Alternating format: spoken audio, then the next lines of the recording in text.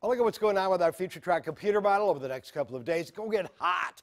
Uh, it was hot today, but we didn't have that much humidity. We're going to add the humidity uh, coming up for tomorrow. Now, these numbers are not warm enough. I tend to think it'll be closer to 94, 95 uh, during the afternoon coming up for tomorrow. A stray shower or thunderstorm, and the, the humidity will be way up as well. It'll feel like 98 to 103 degrees during the afternoon for tomorrow. There's we are by Thursday. Uh, likely see low 90s for the day on Thursday uh, with a little bit better chance of some rainfall during the late afternoon and evening hours. But I think it'll tend to be gone uh, coming up uh, as we approach the nighttime hours as we get closer to seeing uh, the fireworks celebrations at around 9 or 9.30.